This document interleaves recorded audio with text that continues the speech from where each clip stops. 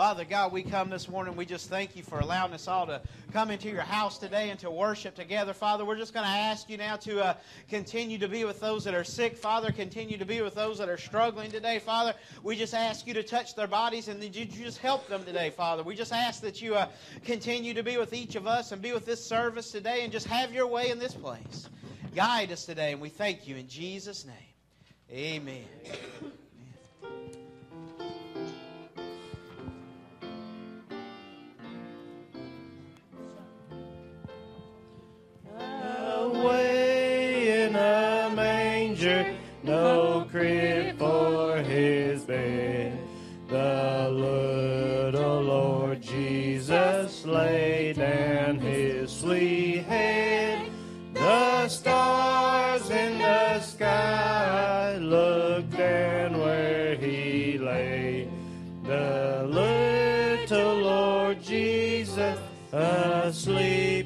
On the hay.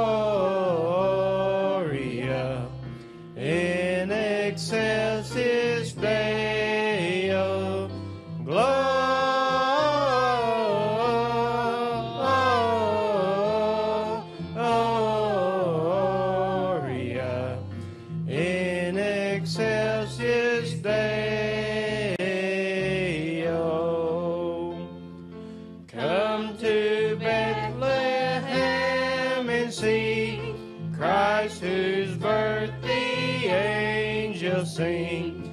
Come adore on bended knees Christ the Lord, the newborn King. Gloria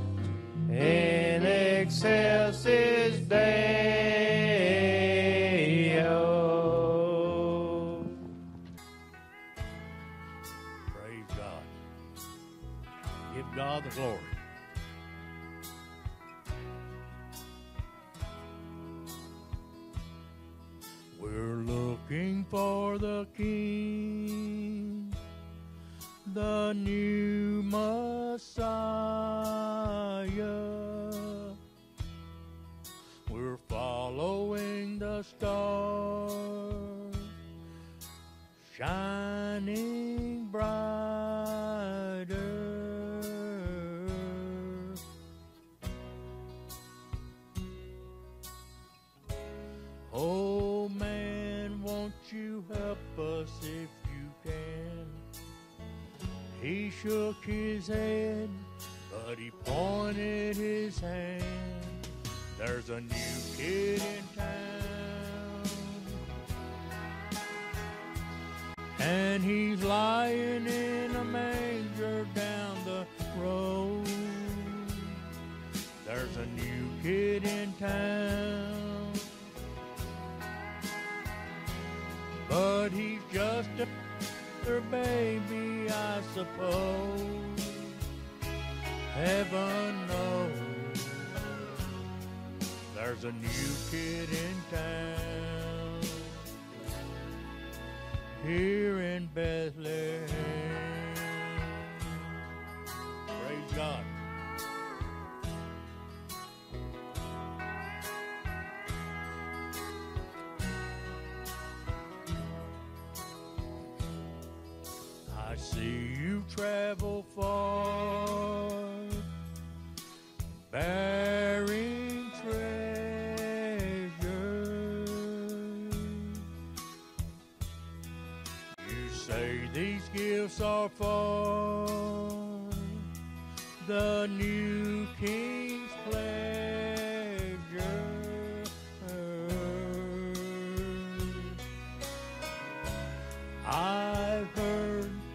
That a king might come, but up till now there hasn't been one. There's a new kid in town, and he's lying in the manger down the road. There's a new kid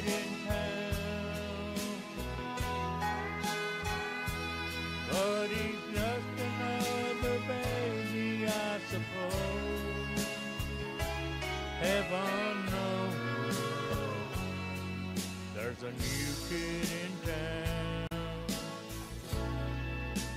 here in Bethlehem.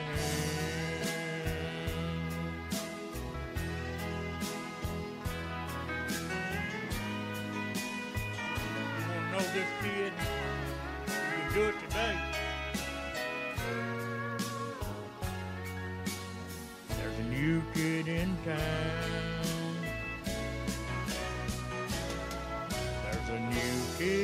Town. And he's lying in the manger down the road.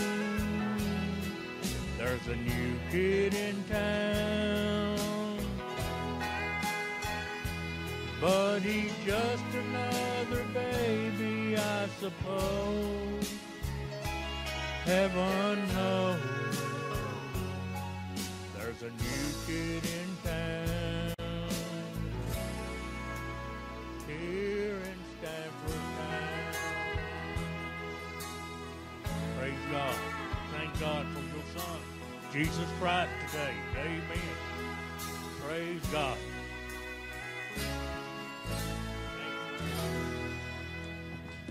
Exactly.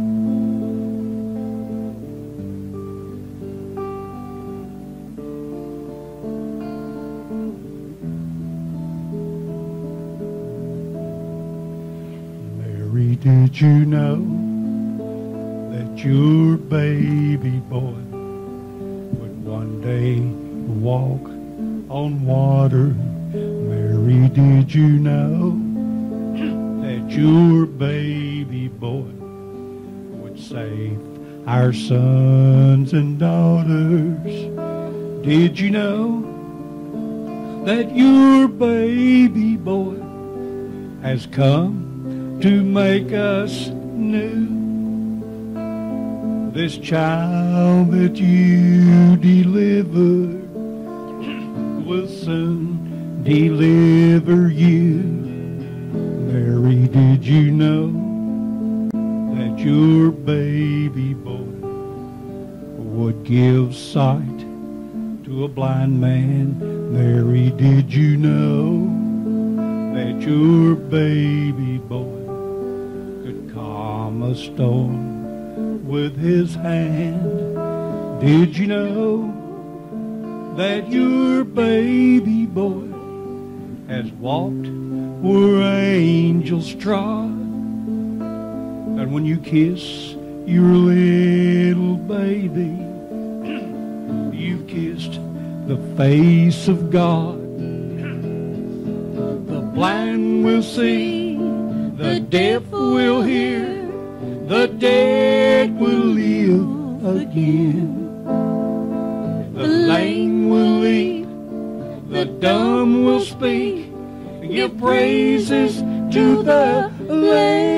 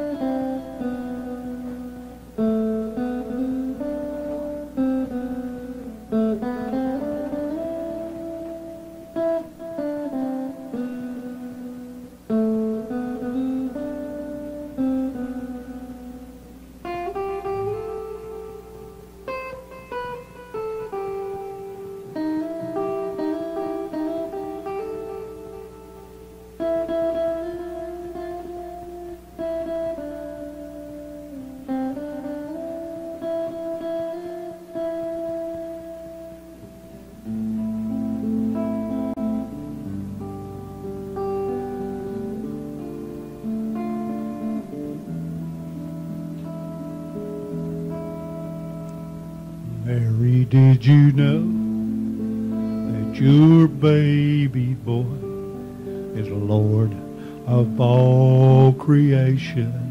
Mary, did you know that your baby boy would one day rule nations?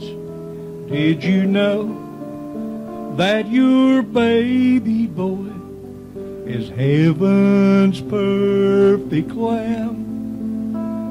This sleeping child you're holding is the great I am. Ooh.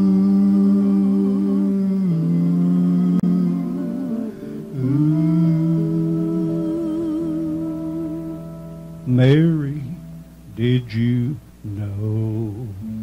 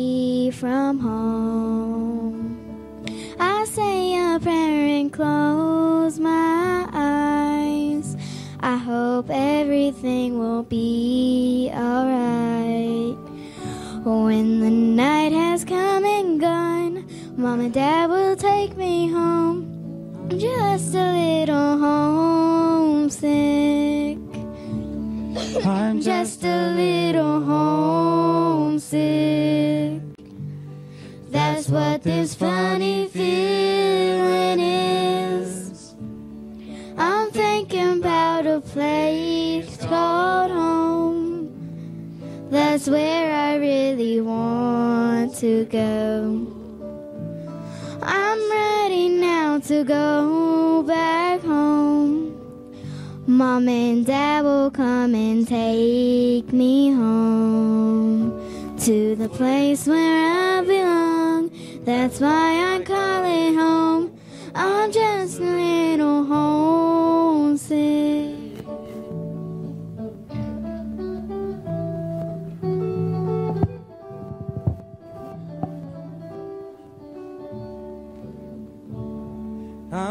Older now, it's plain to see.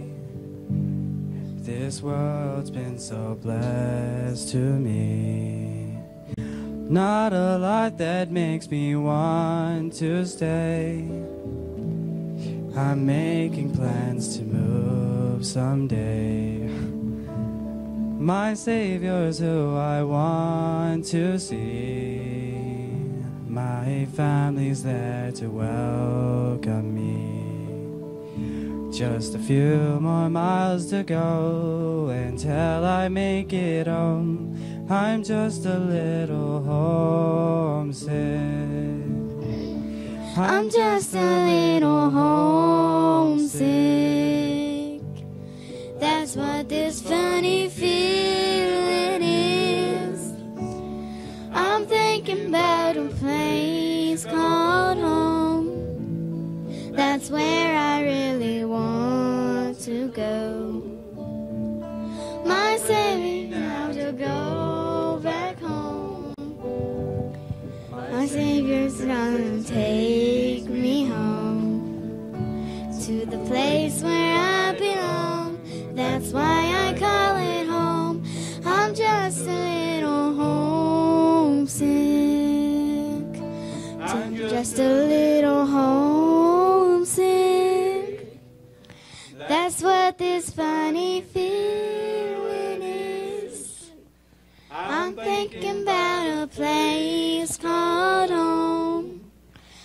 That's where I really want to go. I'm ready now to go back home. My Savior comes and takes me home to the place where I belong. That's why I call it home. I'm just a little homesick to the place where I belong. That's why I call it home. I'm just a little homesick. Turning in your Bibles to Matthew chapter 8.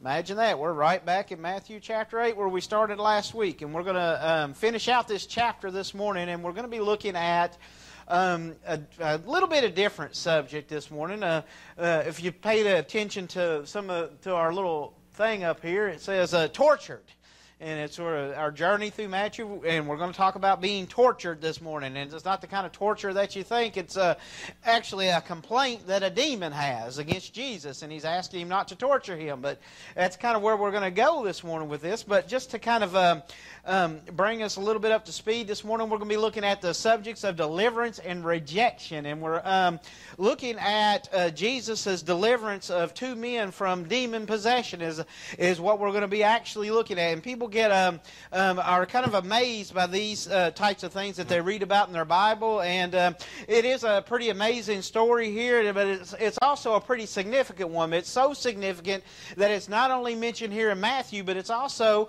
um, the whole story is laid out again in Mark chapter five, and then over in Luke chapter eight as well. And we're going to look at all three of those because um, when you we look at uh, Matthew, and he kind of writes a summary of the events, and then uh, Mark and Luke they add in some of the other details that kind of round out the story and and kind of tell us uh, pretty much everything that went on during that. And and if, if you've been here the last several weeks, we've been um, kind of following Jesus around as he's uh, been been working through um, uh, Jerusalem and Galilee and and Capernaum, everywhere he's going. We kind of uh, Jesus is kind of working his way around. And it seems like we've just been kind of following him, following him around as he went. Um, and we we we um, witnessed several things as we've been looking in the Word about that Jesus has been doing. And um, and last week, uh, last Sunday morning, we looked at uh, something that was a little bit different. I call it kind of a Jesus was kind of thinning the herd a little bit, is what he was doing. He was um, trying to determine who was really wanting to be a disciple and who was just kind of there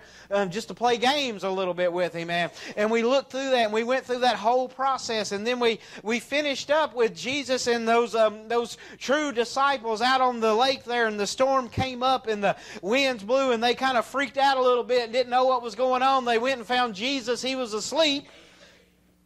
Imagine that. He didn't, he didn't have a worry in the world, but he was asleep.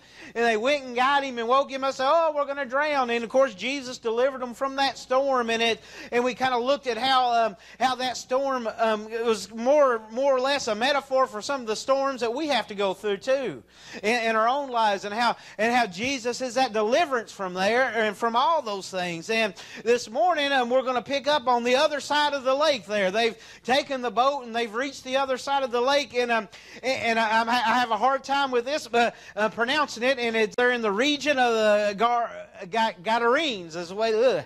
I always get my tongue tied. These uh, Greek and Hebrew words, they just they, they, drive me crazy sometimes. But but that's where they're at. They're on the other side of the lake, and uh, and we pick up here in Matthew chapter eight, um, verse twenty-eight. So if you don't care, if you're able to, I invite you to stand with me as we begin to read here. And again, that's Matthew chapter eight. I'm going to read verses twenty-eight through thirty-four, and it, it starts out this way. It says, when he arrived at the other side of the re, uh, of in the region of the Gadarenes, two demon-possessed men coming from the coming from the tombs met him. They were so violent that no one could pass that way. And it says, "What do you want with us, Son of God?" They shouted. Have you come here to torture us before the appointed time? And then some distance from them, a large herd of pigs were feeding. And the demons begged Jesus, If you drive us out, send us into that herd of pigs. And he said to them, Go. And so they came out and went into the pigs, and the whole herd rushed down the steep bank into the lake and died in the water. It says those tending the pigs ran off, went into the town, and reported all of this, including what happened to the demon possessed men. And then the whole town went out to meet Jesus, and when they saw him, they pleaded with him to leave their region. Um, pray with me this morning. Father, we come today and we thank you for our time of singing and of worship this morning. We ask you to continue to be with us, continue to help us, continue to open us up to receive your word today. Be with us and be with our families. And we thank you today in Jesus' precious name. Amen. Amen. All right. Thank you all. It's kind of interesting, isn't it? Mm. But you can kind of look at it in several different ways. You kind of get a little tickled at it sometimes if you don't look at it in, the right way. But right off the bat here, there's some things that happen. Um, you know, no sooner than Jesus and his disciples get off the boat, who's there to meet them? The devil. Satan and his demons and all of his evil forces are right there to meet him no sooner than they get off, uh, uh, off, the, off the boat there. And they're there for one reason. And that one reason is to cause trouble. It's to try to cause some type of division, try to cause some type of problem, try to hang Jesus up. And really, they're not going to do anything with him. But so what they're really after is they're after his disciples, is what they're after. That's why, um, because um, we're going to get into it in a minute, but the devil knows that he can't do anything to Jesus. And so he's going to try to get his disciples any way that he can. And that's really what, what we've got going on here is we've got all this um, all this stuff that's been going on, all these things that's been transpiring. And then Jesus and his disciples reach the other side of the lake, and this is what happens. It says, when they arrived on the other side, it says two demon-possessed men came from the tombs to meet him, from the graveyard. Y'all realize that the tombs in those days, what they did is they took a cave and, and they kind of cut out a place and they and they put a bunch of dead people in that cave. Is basically what it was. Most of the time, a family shared one. They had them all there together, but the tombs is where these people were living. And it says two demon possessed men came out of the tombs to meet him. They were so violent that no one could pass their way. So these were some pretty bad dudes, weren't they? They were, they were the type of guy that, that, that when you saw that when you saw them coming, you just kind of mm, went the other way. Say, I'll go around this way, or I'll go, I'll take the next one, or, or something like that. That's how they were. And, and um, you know, um, Mark and Luke, they focus on one of them in particular. Apparently, he was worse than the other one, but this is what Mark says about it. It says, when they went across the lake to the region, when Jesus got out of the boat, a man with an evil spirit came from the tombs to meet him, just like in Matthew, it says, This man lived in the tombs, and no one could bind him anymore, not even with a chain. He was tough too, wasn't he? He was pretty strong. He he wasn't he wasn't just mean, but he was tough. They tried to tie him up with chains and he would break free. It says, For he had often been chained hand and foot, but he tore the chains apart and broke the irons on his feet. No one was strong enough to subdue him. And night and day among the tombs and in the hills he would cry out and cut himself with stones. So not only was he strong, not only was he living in the graveyard, not only was he lonely, but he was also in torments. He was being tormented from within. He would cry out day and night, cut himself, all these things, because he was being tormented by these demon spirits. And then Luke adds this uh, uh, nice little tidbit. He says, This is Luke 8 27. When Jesus stepped ashore, he was met by a demon possessed man from the town. For a long time, this man had not worn clothes or lived in a house, but had lived in the tombs. So not only had been living out in the tombs, he was naked. He was running around naked. He was a mess. They had kicked him completely out of town. Nobody wanted to have anything to do with him. These demons had drove him crazy, drove him to the point where he would do anything. He was running around naked, didn't have no clothes on. Nobody could contain him. Extremely strong. He was what we would probably call a menace to society. Really? He would be the one that we would try to avoid at all costs. Because if you saw him, you didn't know what he was going to do next.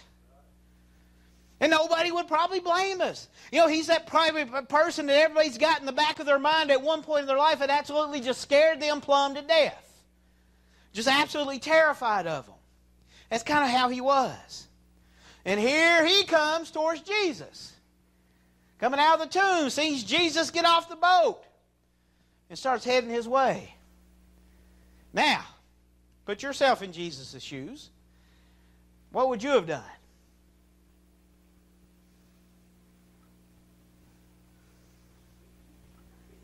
Hmm? Uh-huh. Float, run, get on the boat, hide, get a big rock, something. Try to get away whatever way we could, right? It's not what Jesus did, though, was it? Jesus, he didn't walk away. He didn't run away. He didn't try to avoid him. He didn't try to act like he didn't see him and go the other direction. We do that, don't we? Even if it's somebody we just don't want to talk to, we see them coming. You know, we're, we're, we're riding our little shopping cart down Walmart. We, we start down that aisle, we see them. Ah, I need something down this aisle over here. he didn't do none of that, did he? Absolutely none of it. He wasn't afraid to confront this man. He wasn't afraid to confront the demons that had possessed this man, the demons that had control over this guy. He wasn't a bit afraid of them. In fact, it was the other way around. Verse, uh, Matthew 8 29 says, What do you want with us, Son of God? They shouted, Have you come here to torture us before the appointed time? And now Mark and Luke add a little bit more. They say, this is Mark uh, 5 6, it says, When, when they, he saw Jesus from a distance, he ran, look at this, and fell on his knees in front of him. He shouted at the top of his voice, What do you want with me, Jesus, Son of the Most High God? Swear to God that you won't torture me. And then again in, in Luke it says when, when he saw Jesus, he cried out and fell at his feet, shouting at the top of his voice, What do you want with me, Jesus, Son of the Most High God? I beg you, do not torture me. This guy or the demons within him were absolutely terrified and scared to death of Jesus. And the reason they were terrified and scared to death because they knew exactly who Jesus was. They referred to him by his title, Jesus, the Son of the Most High God. They knew Jesus because guess what? They'd seen him before. They knew who he was. They knew what he was all about. They knew the power and the authority that Jesus had. They knew all of that. And they knew that in the end, guess what was going to happen to them? It wasn't going to be very good. It wasn't going to be very pleasant. They were going to be cast into the outer darkness, into the abyss, into the pits of hell, into the lake of fire. That was their destiny. And they knew that Jesus had the power to do that. And they were hoping that he would wait just a little bit longer. That's why he said, Oh, it's not the appointed time, it's not the right time. Just, just ease up a little bit. And here's uh, this first point I want to make is that if Jesus Christ lives within you, if you are a child of God, you have that same authority. You have that same power. Satan or none of Satan's demons can do anything because you have the power of God. And they tremble and they flee at the sight or the sound or even the name of Jesus. And we need to stand up and take authority that God has given us over the evil that's in this world. But we do some things. We have a lot of people in this world, we have a lot of people in our community, maybe even in this church, that have a warped sense of what hell is really like. They've got a warped sense of what heaven and hell are like and what things are really like when we leave this world. And they have a warped sense of really who is in control and who has the power and the authority in this entire universe. And I've seen a lot of people say a lot of strange things. That happens a lot at funerals. They will say some strange things. They'll talk about, oh, oh, yeah, when I get to hell, we're just going to have a party. They'll say that kind of stuff. Or they'll talk about all the bad things that, oh, I've just restrained myself, but when I get there, I'm just going to go crazy, go wild. And I want to look at them and say, Are you crazy? Have you lost your mind? Because just think about it this way, just for a minute. If these demons are absolutely scared to death of hell, do you think it's going to be a party? Do you think that it's going to be fun? Do you think it's going to be a place where you can just do whatever you want? Don't sound very pleasant to me. And let's just think about it just for a minute, too. Uh, Mr. Satan himself is trying everything he can to avoid it himself. And he knows what his destiny is, but he figures if he can't, if he can't avoid it, he's going to take as many people as he can with him but he tries his best to avoid it. And people also have this warped sense that Satan has some type of authority in hell. Satan has no authority in hell because if he did, he wouldn't be going there. He wouldn't be confined there. He has no more authority than the poor soul next to him that's going to be in torments there as well. That's the company that you keep in hell. And nobody has authority over anybody. Everybody's in torments. Everybody's in flames. Here's what Jesus says about hell.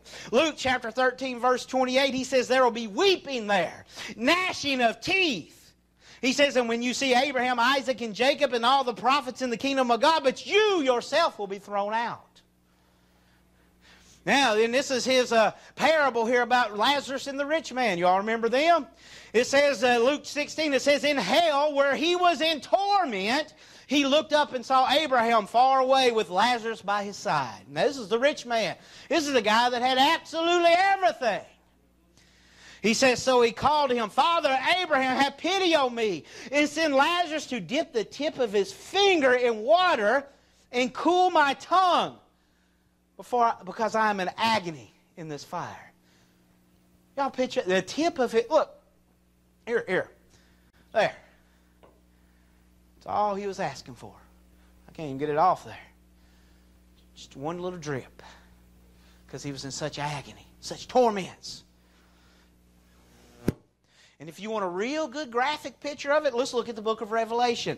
Revelation chapter 19, verse 20. It says, Now these are the ones that are that are uh, that are Satan's top I guess top dudes, if you want to call it that. Say uh, Revelation 19, 20, but the beast was captured, and with him the false prophet who had performed the miraculous signs on his behalf.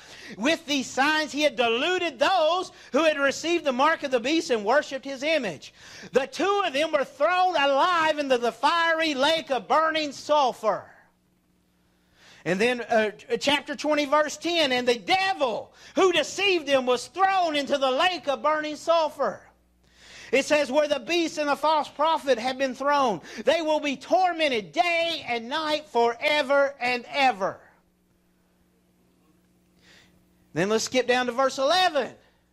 Because people go, well, that's just the devil and that's all his people. Well, here you go. Then I saw a great white throne and him that was seated on it. Earth and sky fled from his presence, and there was no place for them. And I saw the dead, great and small, standing before the throne, and the books were open. Another book was open, which is the book of life. The dead were judged according to what they had done as recorded in the books.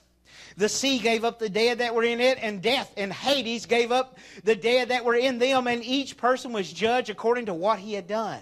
Then death and Hades were thrown into the lake of fire.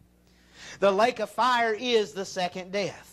If listen to this verse right here. This is the most important verse of this whole passage. If anyone's name was not found written in the book of life, he was thrown into the lake of fire. Is your name written in the book of life this morning? If it's not, that's, that's where you're destined for, is the lake of fire. If your name is not written in God's book of life, that's, what, that's your destiny. I don't care how much good you've done. I don't care how happy you may seem right now, how you think you may be able to fool God. You ain't fooling nobody. If you haven't given your heart to Jesus, you're going to end up in the lake of fire. Plain and simple, that's what the Word of God says. I'm going to read you one more. This is Revelation 21 8. This gives you some characteristics of some folks there. But the cowardly, the unbelieving, the vile, the murderers, the sexually immoral, those who practice magic arts or witchcraft, the idolaters, and all liars, their place will be in the fiery lake of burning sulfur. This is the second death. I hate to say it, but does any of that fit? If it does, you need to do something about it. Just plain and simple. I could probably stop right there, really. Because that's the most important thing. But do you see any parties mentioned there? Do you see anybody having a good time there? Anybody laughing and, and partying and, ha- and playing and carrying on? Do you? Because it's not there.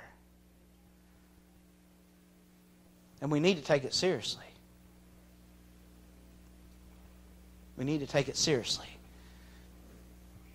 Because I'm going to tell you, the devil will distract you.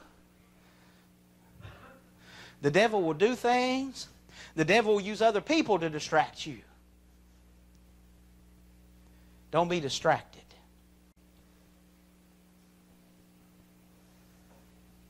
Because I'm going to tell you something. I'm not afraid of the devil. I'm not afraid of his demons. I'm not afraid of anything that he's got to say or do. And if you're a child of God, you shouldn't be either. But also, if you're a child of God, you need to be taking a stand against those who are full of the devil. Because we have people in this world that are full of Satan. I've seen it. I could tell you stories that make your hair curl. And some of you probably, some others in here probably could too. It is real. It's not a joke. And I'm not playing this morning. And this demon scared absolutely to death because he thought that was what his destiny was going to be right then and there.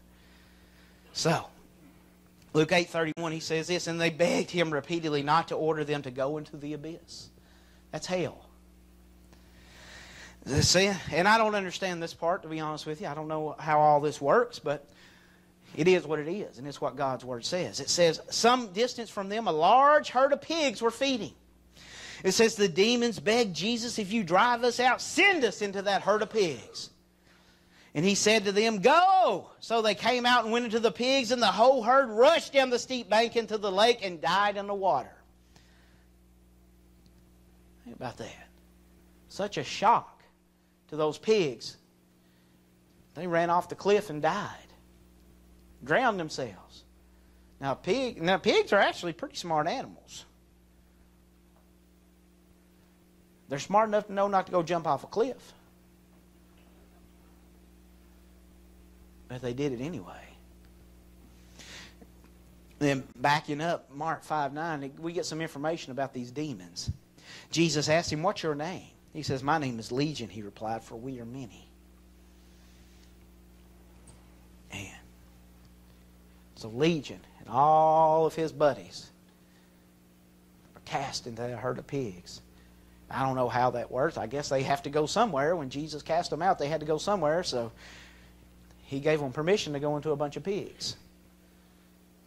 Wasted a bunch of bacon. And off into the, the lake they went. And we would have thought everybody would have just been, ooh, amazed. And there'd have been a great revival. People worshiping Jesus. Man, oh, I'm, I'm sure this guy that he delivered, I mean, he was happy. It talks later on about him wanting to go with Jesus. Jesus said, no, you got to stay here. But he had been delivered. Do you know what it's like to be delivered? Think about when you were delivered, what it felt like. That's what this guy felt like. He had the weight of the world lifted off of him. But says when those tending the pigs saw what had happened, they ran off and reported this in the town and the countryside.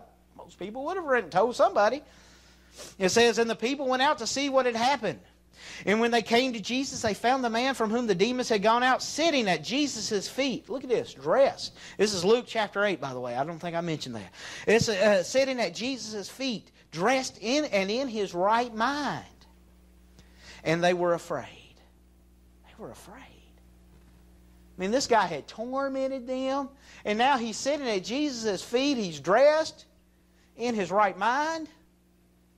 But instead of rejoicing, it says they were afraid, scared. It says those who had seen it told the people how the demon possessed man had been cured. And then our, our scripture, uh, verse 34, Matthew 8, it says, Then the whole town went out to meet Jesus. And when they saw him, they pleaded with him to leave their region.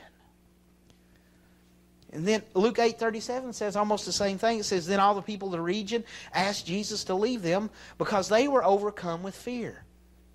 So he got it says he got in the boat and left.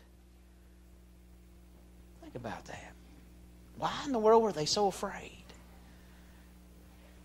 They were afraid because they knew they had their own demons. They knew they had their own sin. They knew that they had all these things in their own life. And if Jesus got a hold of it, then guess what? They were going to be confronted with the decision that they were going to have to make. They were either going to have to decide to let Jesus deal with those things and fall at his feet like this demon possessed man, or continue the way that they're going. That's what scared them. They chose just to do whatever they were already doing. They didn't want to do anything different. They didn't want to change. They didn't want to be delivered. So they said, Oh, you just need to leave. He got in his boat and he left. How many times have you kicked Jesus out this morning? How many times have you asked him to leave? To get in the boat and leave? Think about him. What kind of demons do you have to deal with this morning? Kind of sin do you have to deal with? Because the reality is, if you don't deal with it, you leave this world. You know, all those scriptures I read from the book of Revelation, it's you. You might as well you put your name right in it. So if you don't deal with your sin, you leave no choice but God to judge you for it. So it ain't games. It's not funny. It's not fun. It's about what decision we're willing to make for God today. Because this is serious business. And I'll tell you, sometimes we end up getting distracted by other people around us because what happens is they don't want to take it seriously. And, we, and it kind of takes the heat off a little bit. Because they don't want to take it seriously. We think, well, they're not going to take it seriously, so I don't need to either.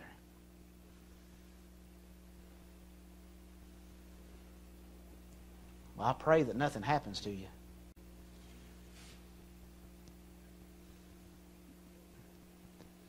Because probably every one of us in here can name somebody that's left this world just like that. And none of it mattered. The person next to you didn't matter.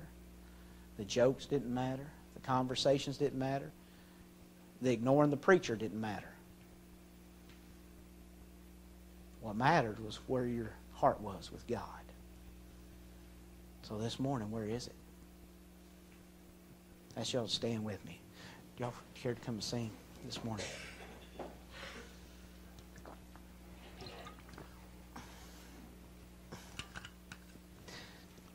I'm going to give you an opportunity to respond this morning. I'm just going to ask you to be obedient to the Holy Spirit. If the Holy Spirit's speaking to you, then you need to come deal with it. It's as plain as I can be with it. It's nothing that I can deal with for you, nothing anybody else can deal with for you. It's something that you need to deal with. So I'm going to let them sing, and I'm not going to say another word. Let the Holy Spirit talk. Pray with me. Father, we come today and we just thank you and praise you. We give you all glory today. We ask you to continue to be with us all and continue to help us all, Father. We ask you to guide us and be with us today and be with us this week. Be with our play tonight, Father, and just help us to glorify you in all that we do today, Father. We thank you for your deliverance. We thank you for the gift of salvation. Go with us, go before us, and prepare our paths. And we just give you all glory in Jesus' name. Amen.